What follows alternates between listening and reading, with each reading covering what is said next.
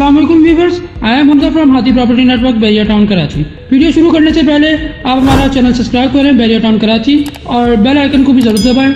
आज हम आपको दिखाएँगे पीटन 27 के विलास, जिनमें से एक हमारे पास सेल के लिए मौजूद है।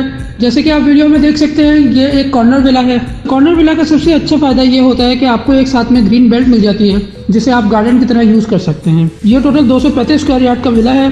और जैसे कि आप वीडियो में देख सकते हैं कि इसमें पहले से ही ग्रिल्ड इंस्टॉल्ड है। अब हम आ गए हैं छत पे।